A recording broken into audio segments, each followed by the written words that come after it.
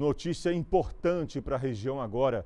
A, a NTT, Agência Nacional de Transportes Terrestres, aprova o novo modelo de concessão da BR-381 de Belo Horizonte a Governador Valadares. A principal alteração é a supressão do trecho de 31 quilômetros entre Belo Horizonte e Caeté, que serão assumidos pelo governo federal por meio do DENIT, o Departamento Nacional de Infraestrutura de Transportes.